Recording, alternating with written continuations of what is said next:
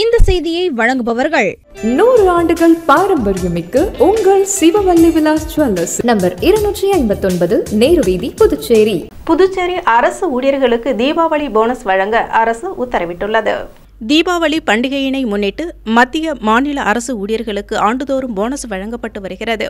கடந்த சில நாட்களுக்கு முன்பு மத்திய அரசு ஊழியர்களுக்கு தீபாவளி போனஸ் அறிவிக்கப்பட்டது.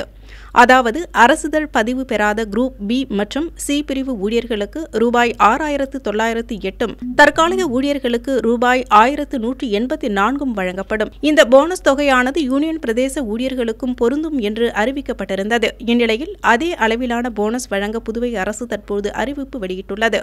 இதுகுறித்து நிதித்துறை சார்பு செயலாளர் உத்தரவு பிறப்பித்துள்ளார். இந்த தீபாவளி போனஸை அரசுதழ் பதிவு பெறாத அரசு ஊழியர்கள் சுமார் பதினெட்டாயிரம் பேர் தினக்கூலி ஊழியர்கள் சுமார் ஐந்தாயிரம் பேர் பெறுகின்றனர்.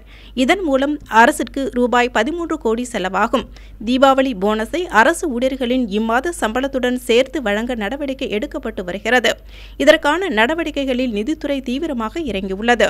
புதுவை அரசு ஊழியர்களுக்கு தீபாவளி போனஸ் அறிவிக்கப்பட்டுள்ள நிலையில் அரசு சார்பு நிறுவனங்களான வாரியங்கள் கழகங்களில் பணியாற்றும் ஊழியர்களுக்கு போனஸ் அறிவிப்பு எப்போது வெளியாகும் என்று எதிர்பார்ப்பு எழுந்துள்ளது.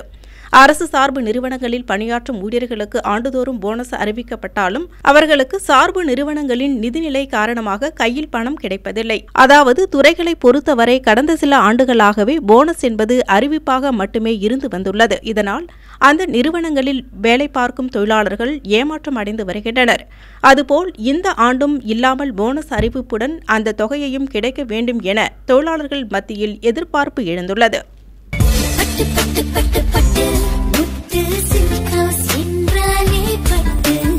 முத்து பாண்டிச்சேரி. ராஜா தியேட்டர் சிக்னல் அருகில் மட்டும். புதுச்சேரி உங்கள் ஏஎம்என் டிவி செய்திகளை யூடியூபில் உடனுக்குடன் காண ஏஎம்என் டிவி பாண்டிச்சேரி சேனலை சப்ஸ்கிரைப் செய்யுங்கள். பெல் பட்டனை மறக்காமல் கிளிக் செய்யுங்கள்.